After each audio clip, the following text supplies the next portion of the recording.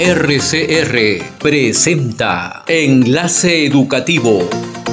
Desde estos momentos analizamos con entrevistas y comentarios la coyuntura educativa que el magisterio necesita saber en nuestro país. Bajo la conducción de los profesores Gilmer Mesa y Jacqueline Santos. Iniciamos Enlace Educativo, una producción del SUTE.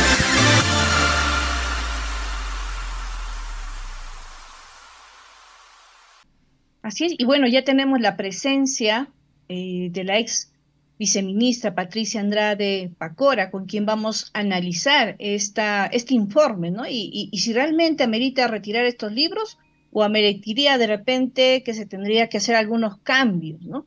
Bien, bienvenida, estimada Patricia, muchas gracias por acompañarnos aquí en Enlace Educativo.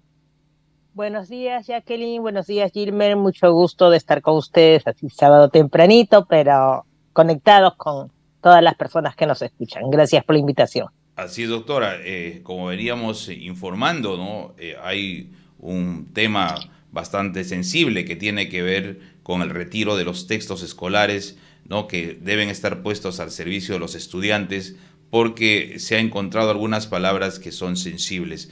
Frente a ese tema, ¿cuál, es, eh, cuál debiera de ser la posición del ministro que hasta el día de hoy no se ha pronunciado sobre el caso. Eh, ¿En su gestión se trabajó este material o no fue en su gestión? ¿En qué gestión fue la que se elaboraron estos textos escolares que después de la revisión se han dado cuenta que hay palabras sensibles? Ya, bueno, em, entiendo que el ministro eh, Morgan sí se ha pronunciado, creo que solo en una oportunidad y principalmente para indicar que este proceso se ha realizado en la anterior gestión, no en la gestión del ministro Morgan. Eh, eh, entiendo que hizo alguna referencia acerca de la importancia revisar los textos, pero que iba a haber. O sea, no, no queda claro cuál va a ser la postura de con respecto a, a, este informe y en relación a palabras sensibles, en realidad la pregunta es dónde está lo sensible, ¿no? Es decir, eh, ¿cómo podemos hablar de democracia si no hablamos de dictadura?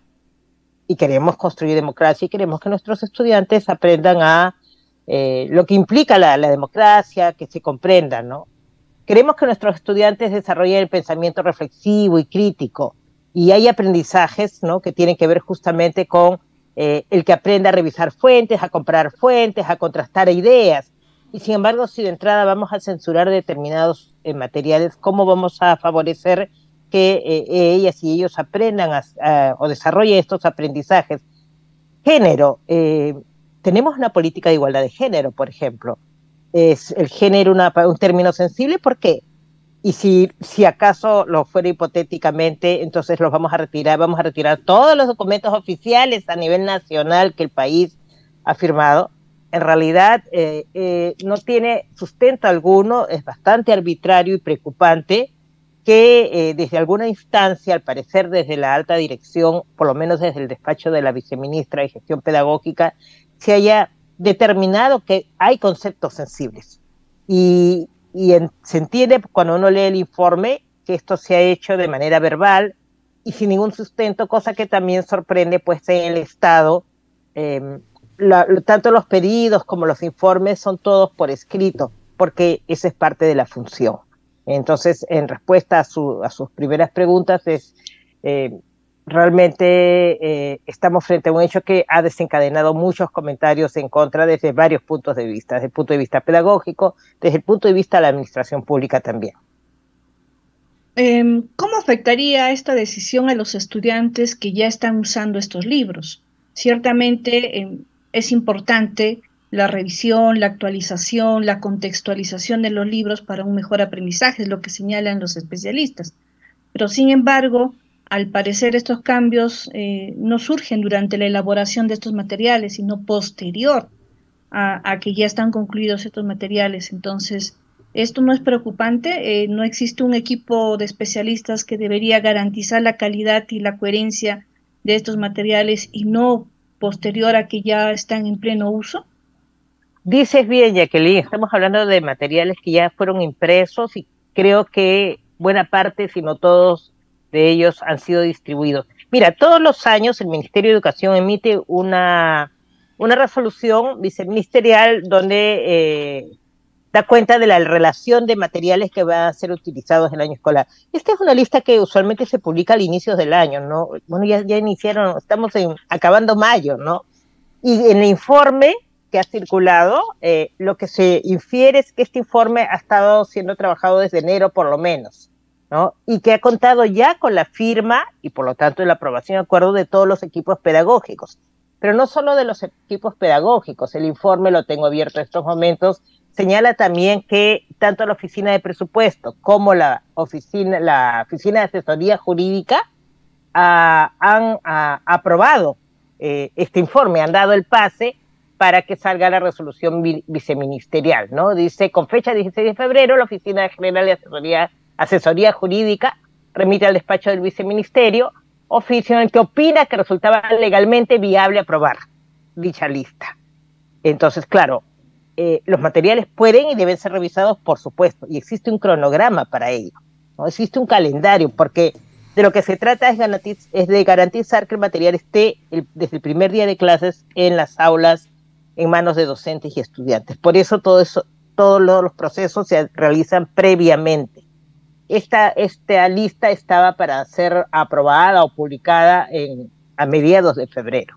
Y es entonces que, de acuerdo al informe, este asesor del despacho del viceministerio habría llamado a un especialista para indicarle que eh, detenga eh, la publicación, se detiene la publicación del, listado y que, y que inicie un proceso de revisión eh, en relación a los temas. Además, el, el, oficio mismo, disculpe, el oficio mismo señala que desde el viceministerio se dispuso, se dispuso la lista de términos a ser observados. Entonces, acá tenemos por eso decía en la anterior intervención, principalmente se está atentando contra el derecho de eh, más de 6 millones de estudiantes que asisten a instituciones educativas públicas. ¿Por qué? Y ese es otro elemento agravante. Esto no afecta a los estudiantes que asisten a una escuela de gestión privada, afecta a los estudiantes que asisten a una escuela de gestión pública, lo cual es inequitativo. Estamos atentando contra el derecho de más de 6 millones de estudiantes y poniéndolos en rezago, en desventaja a ellos y a sus docentes, cuando, por ejemplo, hace poco también se, dieron a conocer los resultados de las encuestas nacionales de logros de aprendizaje, que da cuenta que estamos mal.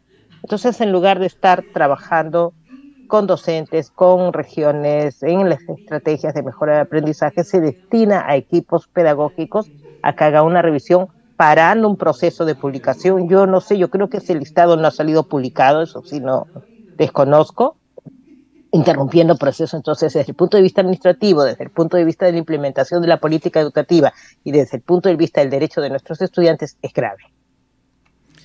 Algo que realmente nos preocupa eh, son términos que se debe conocer, manejar y los estudiantes tienen que eh, manejarlos también con bastante eh, fluidez, ¿no? Términos como, por ejemplo, ¿no? equidad de género. No se puede hoy sustraer ¿no? ese concepto que requiere pues, ¿no? Eh, el trabajo constante de los maestros para encontrarse con esa equidad que se busca. Viceministra, hay, hay un tema eh, que los maestros quisieran saber. el libro o el libro de textos se recién elabora en marzo o en febrero para que sea entregado a los estudiantes o ya hay una elaboración previa que tiene sus costos, que tiene incluso la obligación de ¿no? declarar a la Biblioteca Nacional ¿no? Eh, la autoría y todo ese tema. No es un tema de que se elabora, no es una separata, se elabora y se entrega, ¿no? sino tiene todo un procedimiento legal y una inversión. O sea, el retirar esos libros significa un costo para el Estado, significa derrochar dinero, eh, o como dicen ellos, eh, tirarlo al, al vacío. Eh, ¿qué, es lo que, ¿Qué es lo que se tiene que hacer para corregir un material con antelación, para evitar todos esos, esos gastos? Sí, estamos hablando de millones de soles, ¿no? Porque la lista eh, hace referencia a 1.400 títulos. Es cierto que los que en el informe al final se recomienda eh, excluirlos son 22 títulos. Igual, estamos hablando de que cada título tiene un tiraje de miles de ejemplares, porque estamos hablando de que va a llegar a, los estudiantes de los diferentes grados, ¿no? Estamos hablando de guías, en fin. Eh, claro, existe un cronograma, existe un calendario de producción de los materiales y distribución de los materiales, porque, como dije hace un inicio, al momento de dar inicio al año escolar, mitad de marzo, los materiales ya deben estar en la escuela. Para que los materiales estén en la escuela, no solo han sido impresos y distribuidos desde, desde los almacenes de Lima a las direcciones regionales de educación, a las unidades de gestión educativa local, sino de estas hacia las instituciones educativas. Estos materiales probablemente ya están en las escuelas. ¿Qué es lo que se haría en el hipotético caso de que se encontrara alguna situación irregular. Pasó, ¿no? Recordarán en el año 2019 eh, hubo una situación similar eh, y lo que se hizo fue efectivamente revisar y en algún caso eliminar o tachar la frase. Eso fue muy criticado, pero lo cierto es que ¿por qué tendría que em, retirar un material completo, ¿no? Eh, cuando el problema está en una página. ¿no? Pero ese no es el caso acá. Ese no es el caso acá porque, como bien señalado, ¿cuál es el sustento para decir que textos que contienen la palabra conflicto social, dictadura, educación sexual integral, por favor? Hoy día que más cuando más necesitamos que en las escuelas del país y en todos los grados se desarrollen esas capacidades que tienen que ver con el cuidado de sí mismos, con el reconocimiento de las relaciones cuando una relación se da en contexto de violencia, y, una serie de aspectos más vinculados, vinculados a la educación sexual integral. ¿no? Em, quizás la única frase que uno podría preguntarse si debería estar en un texto es la ideología de género, pero no la van a encontrar, porque en ningún texto se habla de ideología de género, porque la ideología de género no existe. Esto, eh, hay un elemento más que es, es, preocupante y es el contexto en el cual se da esto. Eh, no podemos eh, obviar que hace más de un año se publicó desde el Congreso una ley de textos, ¿no? una ley llamada por la calidad de los textos, eh, que fue observada por el propio Ministerio de Educación en su momento, que fue observada por diferentes eh, instituciones, por la Defensoría del Pueblo y, muchas organizaciones, porque en, dicha ley se habla que los materiales en algún momento de su proceso eh, van a ser remitidos a grupos de familias para que opinen sobre la calidad de los materiales y luego puedan aportar, observar o proponer nuevos textos. A ver, el Estado le paga a profesionales en el Ministerio de Educación para profesionales que tienen la experiencia, que son docentes, pero que además están especializados en la producción de textos. El Ministerio de Educación contrata a eh, editoriales para que produzcan textos, ¿no? Hay, hay, materiales que son producidos dentro del Ministerio de Educación, hay materiales que son producidos fuera del Ministerio de Educación, mediante licitaciones públicas, etcétera. Las familias tienen, por supuesto, el derecho de aportar a la educación de sus hijos y existen mecanismos y existen instancias y momentos para que aporten. Pero no es parte de la responsabilidad ni de la experiencia de un docente, de un padre o madre familia, eh, revisar textos y proponer nuevos textos.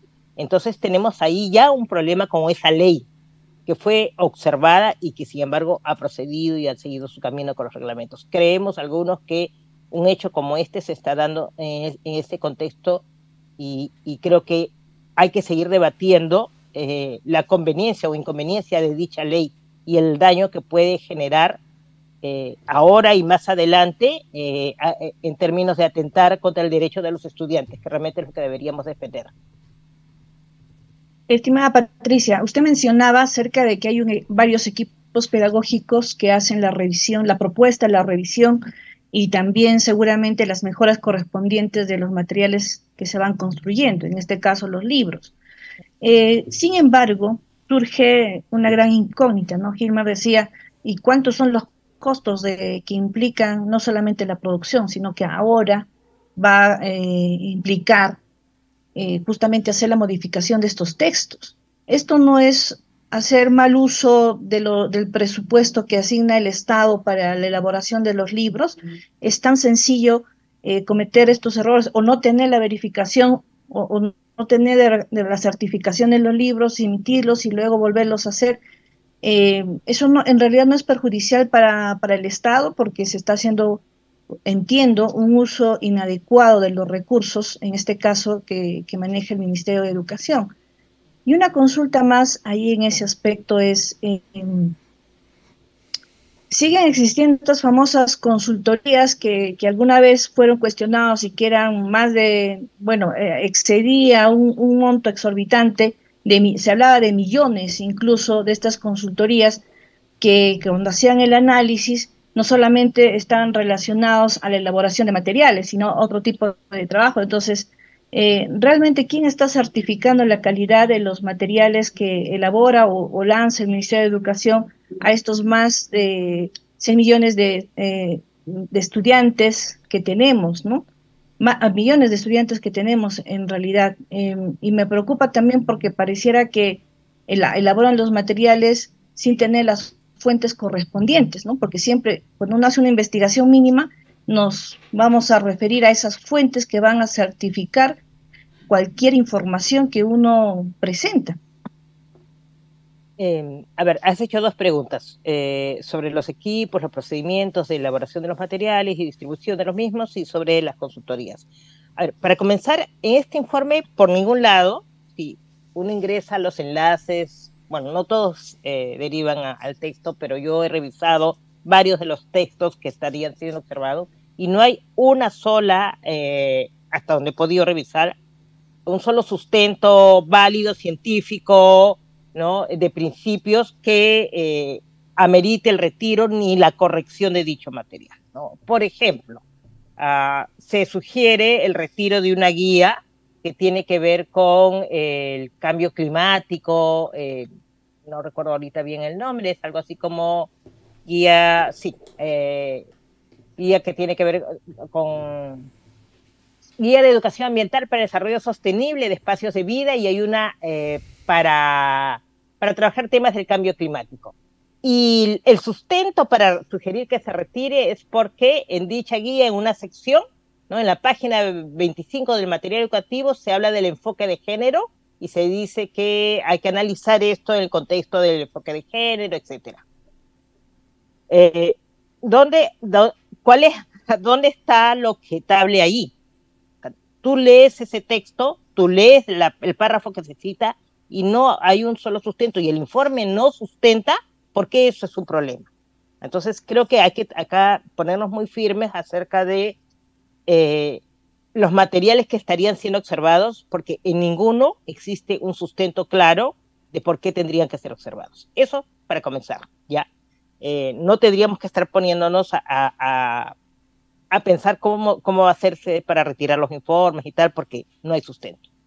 Sobre el procedimiento y las consultorías, bueno, efectivamente, tanto los equipos del Ministerio de Educación como las consultorías son procesos abiertos, transparentes, solicitaciones, eh, efectivamente hay materiales que se encarga a editoriales, pero se encarga de nuevo a través de concursos públicos por el monto. En la administración del Estado, de acuerdo al monto, eh, se procede a, estos concursos abiertos. Los términos de referencia son trabajados más o menos con dos años de antelación por los equipos pedagógicos. Se selecciona, digamos, para qué grado, para qué área de aprendizaje necesito un material, qué tipo de material necesito, qué contenidos necesito trabajar y se hace una especificación. O si se va a trabajar internamente el Ministerio de Educación, se trabaja la ruta, si se contrata a expertos, porque hay expertos, si, es una guía de cambio climático, pues yo tengo que consultar a expertos muy especializados en la temática, ¿no? Eh, los equipos pedagógicos del ministerio son equipos pedagógicos con una especialidad general, pero cuando tú requieres algo, un conocimiento muy especializado, se contrata. No he sabido yo honestamente de ninguna investigación en la que se haya determinado que alguna consultoría ha sido mal hecha o sin sustento.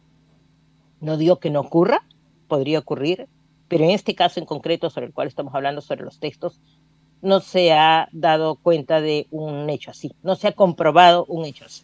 Entonces podríamos seguir especulando, pero no es el caso. Un tema que realmente preocupa al magisterio es la inversión que el Ministerio de Educación debe realizar en material didáctico, en material educativo. Eh, contamos con un presupuesto para el sector eh, inconstitucional, podríamos decir, ¿no? Del 4.2 punto tanto, cuando debiera ser el 6% del PBI para el sector. Eh, con esa cantidad de dinero que se tiene, eh, no podríamos darnos el lujo de modificar textos, ¿no? Después de haber sido revisados o antes de haber sido revisados, no se podría editar textos, ¿no?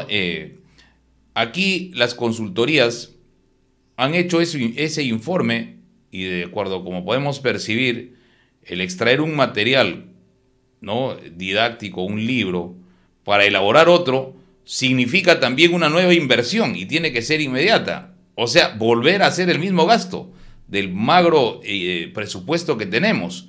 Eh, ¿Hay responsables? Tienen que haber responsables. Uno, de haber elaborado el texto eh, y otros de haber evaluado el texto, ¿no? Y como usted acaba de decir, por ejemplo, no encuentra sustento, no amerita nuevamente revisar el material con expertos y poder verificar si es correcto retirarlos o no es correcto, porque ya entró esto en una zona de conflicto, ¿no? Unos que dicen que está mal, otros que no encuentran un sustento técnico para su retiro. Entonces, ¿Qué, hacer ahora para evitar ese gasto económico innecesario que el Estado va a generarse por eh, eh, elaborar nuevamente los materiales? Porque tampoco podemos dejar a los estudiantes sin el material didáctico. Hay aquí la necesidad de resarcir inmediatamente esta situación. Eh, doctora, ¿cuál es, ¿cuál es el tema sobre la responsabilidad? ¿Tienen que caer cabezas? ¿Tiene que, que ocurrir algo en el Ministerio de Educación? Em, a mí me sorprende que eh, entiendo que esto se ha hecho en la gestión anterior al ministro Morgan eh, y la viceministra de Gestión Pedagógica, eh, que es digamos la más alta autoridad en esta materia. no he escuchado, no sé si se le ha entrevistado, pero ella tendría que estar, estar, dando alguna explicación por qué, de acuerdo al informe, es desde su despacho que ha salido la orden, la disposición de la revisión. Entonces, yo no adelantaría juicio, no no se ha concluido que estos materiales van a ser retirados. Yo lo dudo, sería una insensatez, realmente sería un gasto del Estado, creo que eh, se expondrían a procesos administrativos porque estamos hablando de recursos públicos, como creo que Jacqueline lo señaló al inicio, sería casi como tirar, ¿no? Este caño, ¿no? Es millones. Eh, eso es impensable, no ha ocurrido con esta magnitud algo así a veces se han retirado algún texto o se procedió al tachado de determinadas eh, líneas en algunos textos, porque estamos hablando del presupuesto del Estado, de gasto público, de un presupuesto que todos contribuimos eh, a través de nuestros impuestos. De manera que yo dudo que se proceda, eh, pero por eso más bien la alerta hay que ponerla en las circunstancias que han dado lugar a este hecho. No, o sea, yo no creo que se, se retiren estos textos o que se elimine o que se mande a hacer otros, porque además la clase ya iniciaron. O sea, lo que el nuevo material que se produzca va a estar en el, mejor de los casos en las aulas, ni siquiera el próximo año, sino el subsiguiente, dado los procesos que están en juego. Em, por eso pongo, más bien, pongamos el reflector en qué hace que personas eh, que tienen un cargo público tomen eh, decisiones de manera arbitraria. Eso en sí mismo constituye una falta. En el Estado eh, hay razonabilidad en las decisiones que se toman porque quien tiene un cargo público, o sea, se le ha entregado una función, se le ha puesto en sus manos considerando su conocimiento, su experiencia, su especialidad. Y hay principios que rigen la administración pública. Y, uno tiene que ver con que se tomen decisiones de acuerdo a las necesidades del, de la ciudadanía y decisiones razonables, decisiones pertinentes, decisiones oportunas. Se estaría em, transgrediendo estos principios. En este caso, eh, me sorprende realmente que no se esté dando que no se esté dando un informe de por qué se llevó a cabo tal decisión. ¿no? Eh, eh, eso es lo que habría que preguntarse. No sé si ustedes han buscado o han intentado, han tenido suerte en indagar cuál es la justificación. ¿no? Creo que ahí hay responsabilidades efectivamente y yo espero que las cabezas que caigan, en todo caso, no me gusta usar la frase de cabezas que caigan en realidad, pero que no solo sea con los equipos, ¿no? Porque a veces la cadena se quiebra en el lado más frágil, que son los equipos. Los equipos han seguido una orden, es cierto que algunos han sido más criteriados que otros, he dicho yo no encuentro nada a observar, otros han observado, también tendrán que decir por qué han observado, no hay ningún sustento. Eh, sí, tenemos una declaración del ministro Quero, donde él señala que la exclusión de estos 22 textos se debe a que se va a añadir el curso de educación cívica y educación financiera. ¿no? Es cierto que se debe necesariamente eh, darse esta situación porque, bueno, particularmente tengo una opinión, pero nos gustaría escucharla a usted que, que conoce más este campo. Tal vez como el ministro recién está ingresando a la gestión, no ha tenido aún tiempo para familiarizarse con el Currículo Nacional de Educación Básica. En el Currículo Nacional de Educación Básica tenemos un perfil de competencias y tenemos competencias a lograr que tienen que ver con temas de gestión de recursos económicos, gestión financiera, ¿no? Eh, eh, los temas de ciudadanía, también hay una competencia que tiene que ver con, con, aprender a convivir y a participar democráticamente, todo el tratamiento del Estado, temáticas que tienen que ver con lo que tradicionalmente hemos conocido como educación de cívica, perdón, como el Estado, la democracia, el Estado de Derecho, la constitución, todos esos son temas que se abordan en, este, en las áreas de aprendizaje, están contemplados ya. Siempre puedes mejorar si puedes, puedes colocar eh, nuevos materiales que de pronto aborden temáticas más específicas vinculadas a qué pasó con la pandemia, la crisis del mercado durante la pandemia, o acaba de salir un informe sobre la pobreza, cómo eh, efecto post pandemia se agudizó la pobreza y las brechas. Son elementos, informaciones nuevas que se pueden introducir a futuro, pero no es que necesites incorporar nuevos cursos, además que tampoco es que se pueda modificar el currículo de un día para el otro, todo eso se hace, para, hay, una, ley general de educación, hay un reglamento de la ley general de educación, hay procesos, las cosas no, o sea, en, la, en el Estado tú no funcionas discrecionalmente. Ah, mira, hay que hacer esto. Ya no, ya no me gusta este documento, haz otro documento. Así no es. No hay sustento. Pero yo quiero confiar en que el ministro en realidad lo han agarrado como recién entrando. Entonces, no, o sea, no, no hay manera de entender que tú retires 22 textos porque vas a crear un curso. O sea, si tú quieres revisar el currículo, seguramente tienes la, estás en, en la facultad de hacerlo, tienes la competencia para hacerlo, inicia un proceso de revisión, hay que hacer consultas, eso toma meses, puede, puede tomar años. El currículo que tenemos aprobado fue aprobado en 2015, 16, eh, y, e inició el proceso de revisión en el 2012. ¿no? El Consejo Nacional de Educación tiene que opinar, o sea, cualquier modificación al currículo no es un proceso que lo vas a realizar en tres semanas.